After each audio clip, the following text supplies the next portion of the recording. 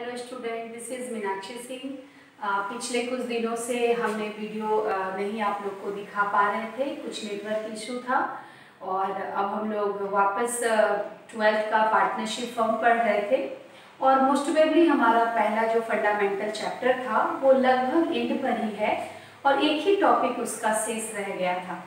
तो एक बार हम लोग रिमाइंड हो लेते हैं जैसे पार्टनरशिप का जो फ़र्स्ट चैप्टर है फंडामेंटल उसको बहुत सारे बुक में बेसिक कॉन्सेप्ट भी लिखते हैं कहीं पार्टनरशिप फंडामेंटल अकाउंटिंग ट्रीटमेंट भी लिखते हैं तो ये सिर्फ़ फाइव मार्क्स के लिए है। बिहार बोर्ड में भी फाइव मार्क्स है सीबीएसई में भी है आईसीएसई बोर्ड में भी फाइव मार्क्स है तो आ, सोचने के लिए तो बस फाइव मार्क्स है लेकिन आपके पूरे पार्टनरशिप सिलेबस को ये चैप्टर कंप्लीट करता है।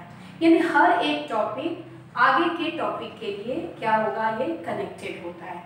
तो जैसे हम लोग सबसे पहले क्या पढ़े meaning nature and characteristics of partnership firm partnership deed पढ़े हम लोग। अब्सेंस ऑफ़ पार्टनरशिप डेट पढ़े। कंटेंट्स ऑफ़ पार्टनरशिप डेट पढ़े। पार्टनर्स कैपिटल अकाउंट के फिक्स्ड कैपिटल और फ्लक्चुएटिंग कैपिटल अकाउंट के बारे में जाने। फिर हम लोग बहुत सारे प्रोविज़न को जाने, जिसमें thirteen A B C D था, जो बहुत इम्पोर्टेंट है आपका। उसके बाद हम लोग फिक्स्ड और फ्लक्चुएटिंग के बीच के डिफरेंस को जाने। उसके बाद हम लोग गारंटी ऑफ़ प्रॉफिट जाने इंटरेस्ट ऑन कैपिटल निकालना जाने इंटरेस्ट ऑन ड्राइंग से रिलेटेड सारे रूल्स जाने, और कुछ आइटम जैसे इंटरेस्ट ऑन लोन और रेंट ये दो आइटम हैं जिसको हम लोग पीएल अकाउंट में ट्रांसफ़र करते हैं, वो जाने, और पीएल एप्रोप्रिएशन अकाउंट को हम लोग अच्छे से पढ़ चुके हैं।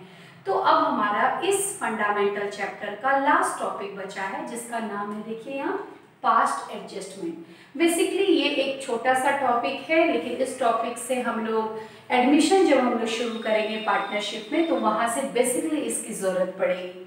तो चूँकि ये बेसिक है तो हम लोग थोड़ा बहुत इसके बारे में जान सकते हैं। ये टॉपिक के पीछे क्या बात है? पास्ट पास्ट यानी बीता हुआ। तो बीता हुआ एडजस्टमेंट से हमारे करेंट ईयर को क्या फ़र्क पड़ता है? तो पास्ट एडजस्टमेंट जो टॉपिक है, इसका रियल मीनिंग क्या होता है? जैसे जानबूझकर नहीं, किसी भी कारणवश भूल चूक से क्या होता है, कुछ मिस्टेक्स हो जाते हैं।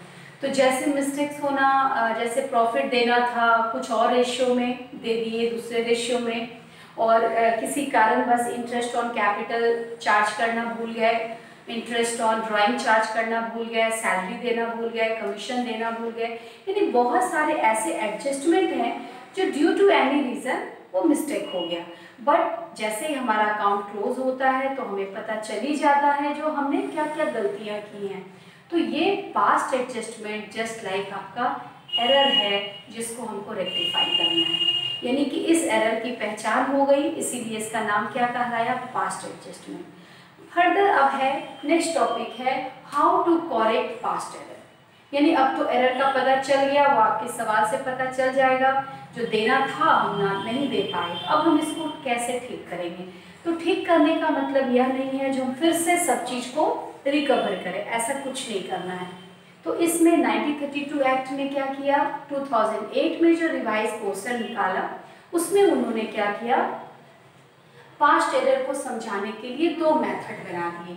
एक आप पीएल एप्रोप्रिएशन अकाउंट से उसको ठीक कर सकते हैं और दूसरा आपका सिंगल एंट्री इसको एडजस्टमेंट एंट्री भी कहते हैं। तो पहला नंबर जो पीएल एप्रोप्रिएशन है तो पीएल एप्रोप्रिएशन आप लोग को बनाना हम सिखा चुके हैं। पीएल एप्रोप्रिएशन नॉमिनल के तरह काम करता है और जब तक फर्म को प्रॉफिट नहीं होता है, हम लोग एप्रोप्रिएशन नहीं बनाते हैं। तो यानी कि पीएल एप्रोप्रिएशन के द्वारा हम लोग क्या करेंगे? इस चीज़ को सॉल्व करेंगे। इसमें क्या करेंगे हम लोग? अगर जो गलती से हमारा प्रॉफिट डिस्ट्रीब्यूट हुआ है, उसको पहले बांट देंगे और उसके बाद जो हमारा एडजस्टमेंट छूट गया है, या एरर हो गया है, या मिस्टेक हो गया है, या जिसको हम लोगों ने लेना भूल गए हैं, उसको हम लोग एक साइड कर लेंगे। तो जैसे एक्सपेंस है एक्सपेंस डेबिट होता है और जितना भी इनकम और प्रॉफिट है वो क्रेडिट होता है। लेकिन जब हम लोग ठीक करेंगे तो जस्ट लाइक हम लोग क्या करेंगे, देखेंगे कौन एक्सेस हो रहा है, कौन कम हो रहा है। तो डेबिट क्रेडिट उसके अनुसार हम काम करेंगे।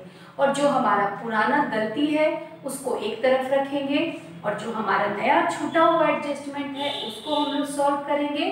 और दोनों के बीच के डिफरेंस को हम लोग क्या करेंगे फिर से उस नए रेशियो में, यानी गिवन रेशियो में बांटेंगे और उसको हम लोग पी एल अप्रोप्रिएशन में ट्रांसफ़र करेंगे।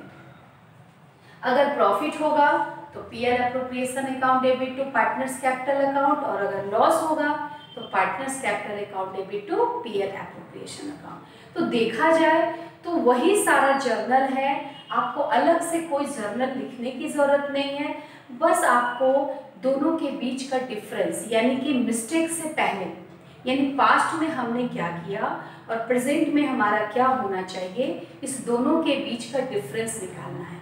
और डिफरेंस में अगर एक्सेस हो गया तो वो डेबिट हो गया और अगर कम हो गया तो वो क्रेडिट हो गया।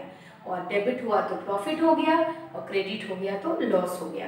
उस प्रॉफिट लॉस को हम पी एल एप्रोप्रिएशन में दिखाएँगे, ठीक है?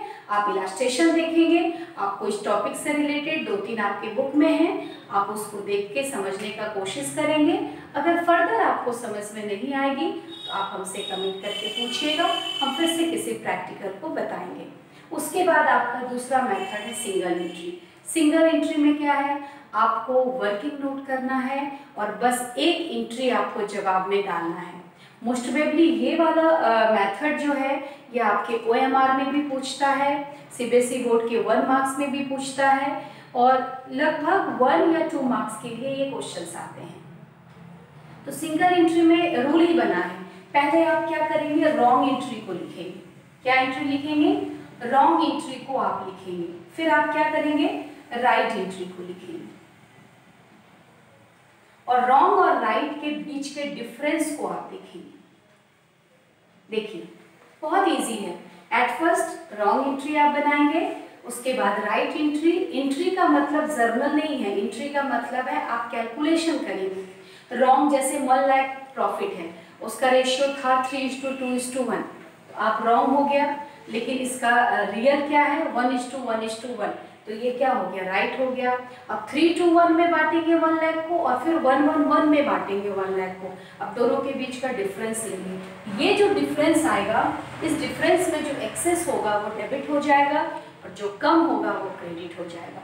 इसका जर्नल बहुत ईजी होता है। देखिए यहाँ हम लिख रहे हैं partners capital account debit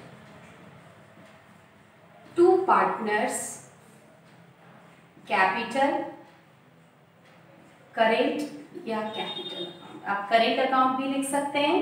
अब जरा ध्यान देंगे तो जो डेबिट है वही क्रेडिट है। यानी कुछ भी अलग से लिखने की ज़रूरत नहीं है। बस आपको ध्यान क्या रखना है डिफरेंस में जो एक्सेस हो गया वो डेबिट हो जाएगा और डिफरेंस में जो लेस हो गया वो आपका क्रेडिट हो जाएगा। क्यों क्रेडिट होगा? क्योंकि जिसके अकाउंट में ज़्यादा पैसा चला गया है, उसके अकाउंट से डेबिटेड होगा, यानी निकलेगा। और जिसके डिफरेंस में लेस हुआ है, उसके अकाउंट में हमको पैसा को देना पड़ेगा, यानी कि क्रेडिट करना पड़ेगा। तो सिंगल एंट्री में same journal partners to partner बस पार्टनर का नाम देखना है आपको डिफरेंस को देखना है। एक चीज़ आपको और बता दें, बहुत सारे बुक में क्या होता है, पहले राइट एंट्री करते हैं और फिर रॉन्ग एंट्री करते हैं। तो आपके ऊपर डिपेंड करता है, आप ऐसा ना करें किसी प्रैक्टिकल में आप पहले रॉन्ग राइट करें और किसी में राइट रॉन्ग करें। आप कोई एक स्टेप पे काम करेंगे। मेथड्स बहुत सारे हैं बट आप अपने लिए एक मेथड बनाएँ। तो ज़्यादा बेटर होता है रॉन्ग और राइट क्योंकि इससे हमको आसान होता है। ऐसे में क्या होगा, वो उल्टा करना पड़ेगा। अगर आप पहले राइट एंट्री करते हैं और फिर रॉन्ग करते हैं तो यहाँ पर फिर उल्टा काम करेगा। उल्टा क्या करेगा? जो एक्सेस होगा वो क्रेडिट होगा और जो लेस होगा वो डेबिट होगा। तो चूँकि पास्ट एडजस्टमेंट है तो पहले रॉन्ग एंट्री होना चाहिए। मतलब एज ए नॉर्मल ढंग से हम देखें तो रॉन्ग एंट्री हो गया, अब हमको राइट एंट्री करना है और दोनों के बीच के डिफरेंस को हम क्या करेंगे? कंपनसेट कर देंगे। जो ज़्यादा है, उससे, उसके अकाउंट से निकाल लेंगे और जिसके अकाउंट में कम है, उसमें हम सेंड कर देंगे। तो इस तरीके से हम सिंगल एंट्री से काम करेंगे। तो पास्ट एडजस्टमेंट एक थॉरो है इस चैप्टर का। इसका प्रैक्टिकली आपका नेक्स्ट चैप्टर आगे जो हम लोग कई सारा चैप्टर पढ़ेंगे, उसमें यूज़ होगा। आपसे हम उम्मीद कर रहे हैं, जो ये आपका लास्ट टॉपिक है, इसको आप समझ के रीड करें और इलास्ट्रेशन देखें। और अगर इसके बावजूद भी आपको प्रैक्टिकल में प्रॉब्लम अगर हो रही होगी तो आप कमेंट करके पूछिएगा, हम उसका आंसर आपको सेंड कर देंगे। आई होप आपको अच्छा लगा होगा। Thank you thank you so much